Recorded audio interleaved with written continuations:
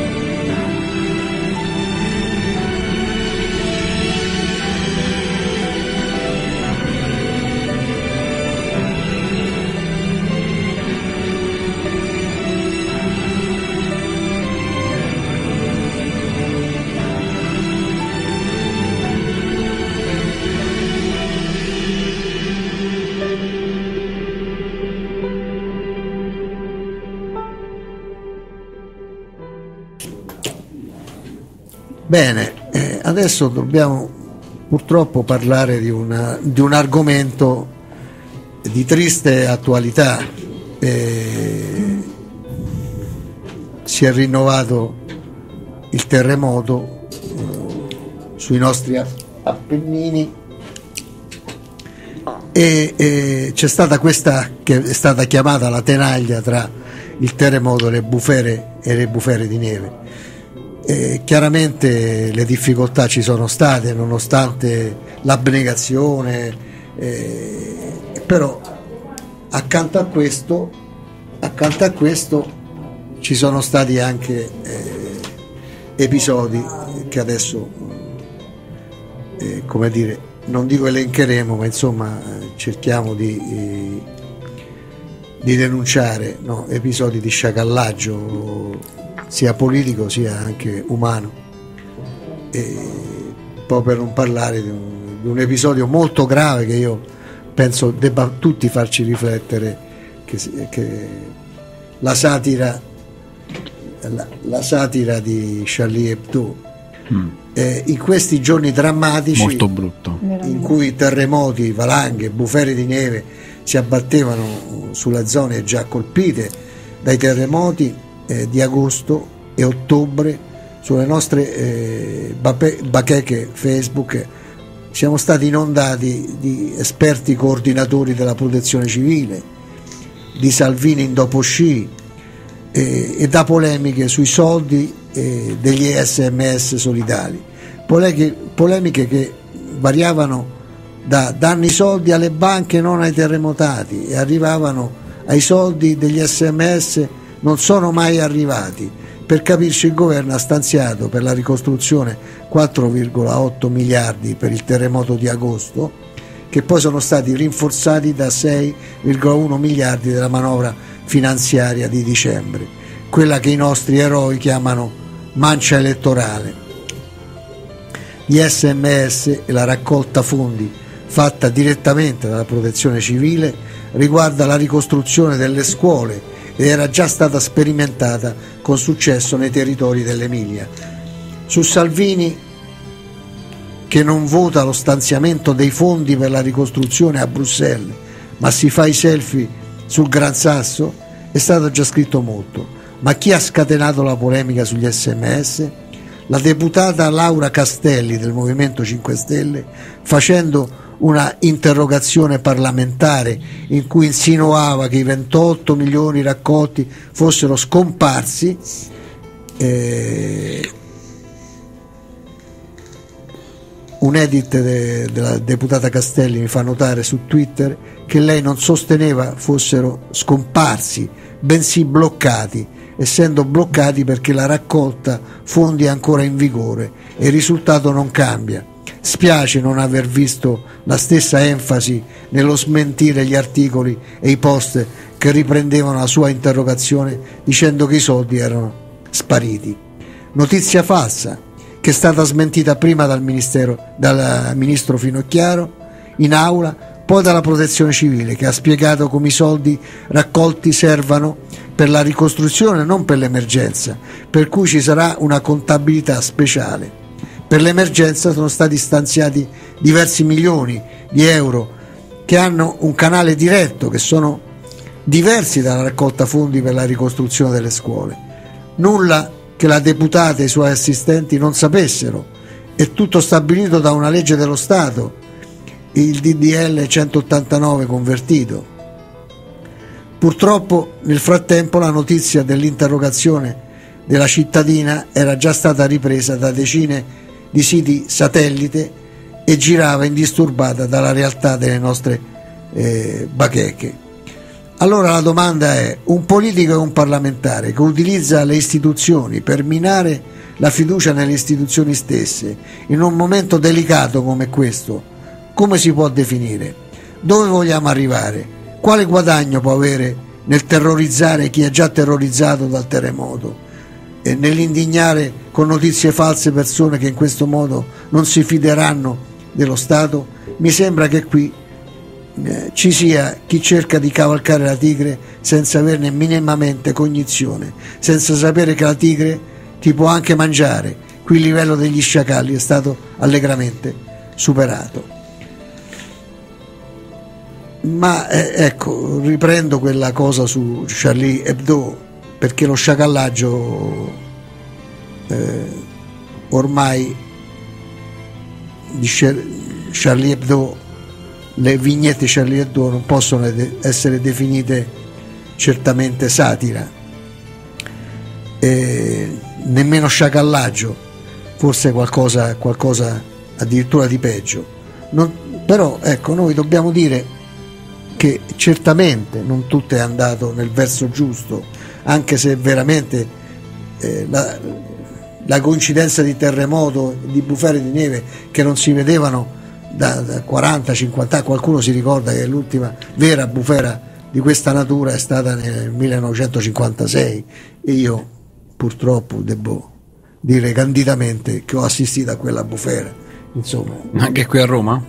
Eh, no, al mio paese, a Orte, ma anche ah, a Roma. Okay eh, faceva, facevamo, anzi avevo la febbre e mia madre mi portò un po' di neve per fare appallate dalla finestra mm. perché se no piangevo ero, per non poter fare appallate con, con i bambini.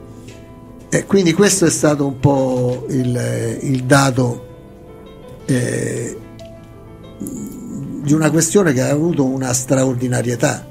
Poi si sono accumulati problemi che conosciamo, cioè le regioni del sud non sono le regioni del nord.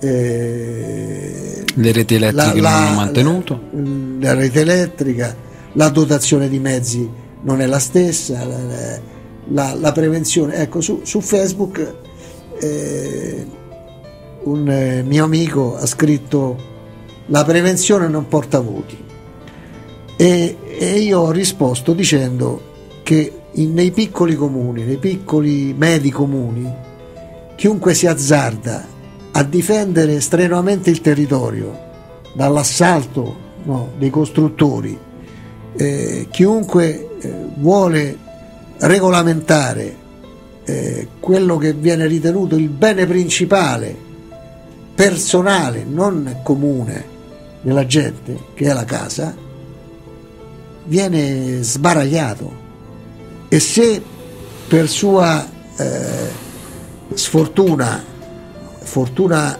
come vo- primo voto, si trova a- ad essere un sindaco eh, che vuole applicare le, le normative eh, e la difesa del suolo, il secondo mandato non lo fa di sicuro. È, poi, no? c'è, sì, poi, c'è, un principio importante che purtroppo non passa tra le persone, cioè come tutti i beni, soprattutto quando accadono i terremoti. Io adesso vengo da una zona terremotata che è la provincia d'Avellino, quindi nell'80 abbiamo subito un bel terremoto, 6.8, 6.7, quindi ha fatto 3.000 morti. e quindi vediamo ancora i segni. Io ho vissuto per 4-5 anni nei fabbricati, quindi ero, ero piccolo, non ricordo quasi niente, però. Ehm, c'è un concetto fondamentale che non passa. La casa è un bene come qualunque altro bene, cioè il computer, nel senso non affettivo, è un bene che si deteriora. Cioè la casa non ha una vita eterna. Noi siamo abituati a pensare la casa, quando compro casa, la casa ha una vita eterna. In realtà non è così, perché la casa che costruisco oggi, fra 150 anni, fra 200 anni, non ha più le stesse, le stesse caratteristiche in cui è stata costruita 150 anni prima.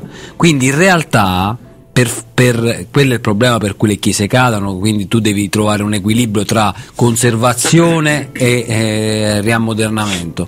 Quindi fondamentalmente tu dovresti, i palazzi di Roma andrebbero abbattuti e ricostruiti. Questo Però non lo farai mai perché uno che compra casa pensa al fatto che ho comprato casa perché costa tanto, qua a Roma io ho pagato la casa 300.000 euro, cioè 300.000 euro cioè, di mutuo le tasse, ho pagato le tasse. Eh, eh, allora posto, sì sì sto a posto. E quindi cioè, io a pensare che fra 100 anni devo buttare giù la casa e ricostruirne un'altra ma chi ci pensa? invece io penso che i miei figli beneficeranno di quella casa. Ma sai questo, questo discorso vale per tutto. Tutto eh, se si costruisce un ponte e non si fa eh, un'attenta manutenzione, sì. no? e poi c'è quel crollo che è successo, questa volta non è stato al sud, è stato al nord, però eh, con quel, eh, quel, camion che aveva un carico eccezionale di ferro no? e poi sul cavalcavia, cioè, sì. sul cavalcavia eccetera, eh, insomma la manutenzione sarebbe come dire eh, l'investimento maggiore e migliore che potrebbe fare sì, ma anche noi